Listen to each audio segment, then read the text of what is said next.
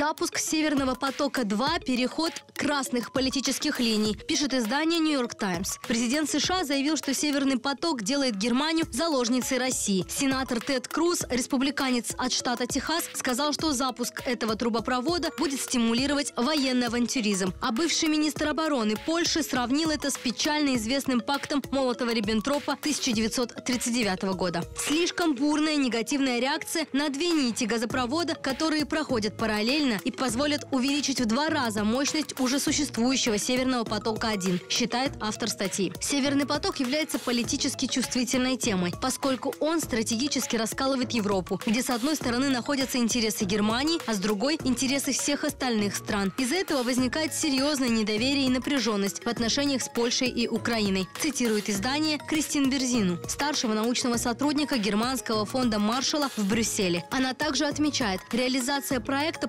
продвинулась так далеко, что многие разговоры о санкциях и его остановке кажутся весьма запоздалыми. Издание приводит также мнение эксперта Себастьяна Сас из компании Nord Stream, который утверждает, что уязвимость Украины преувеличена и что потребность Европы в природном газе достаточно возрастет, и это будет гарантией того, что российский газ будет по-прежнему поступать и по украинским трубопроводам.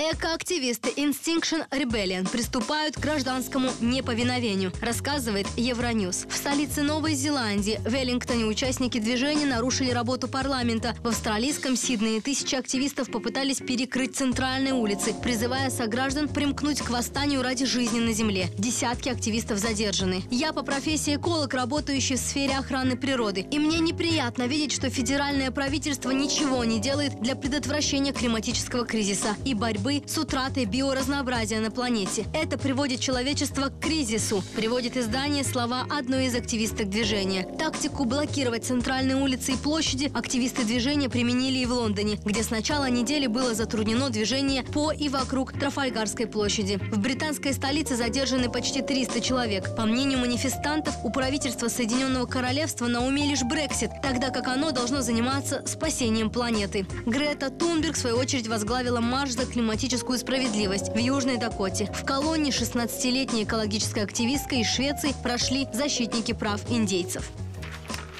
Археологи раскрыли тайну раннехристианской базилики на востоке Грузии, сообщает издание «Спутник Грузия» со ссылкой на Национальный музей страны. Грузинские археологи обнаружили в раннехристианской базилике крипту с подземными катакомбами V века. Ученым удалось даже определить точную дату погребения благодаря радиоуглеродному анализу украшений и останков тел, найденных в каменных гробах. Базилика на правом берегу реки Дуруджи, Кварельского района Кахети, была построена на рубеже 4-5 веков и относится относится к раннехристианским храмам, которые часто встречаются в римских и ранневизантийских архитектурных комплексах, цитирует издание одного из членов экспедиции. Это далеко не последнее открытие, сделанное учеными. Как выяснилось, обнаруженная базилика была построена на месте еще более древнего храма IV века, который был разрушен в результате землетрясения. Новый храм полностью заполнил собой внутренний двор, возвышаясь над всеми сооружениями храмового комплекса на 18 метров. Как предполагают ученые, такова ведь видимо, была задумка автора.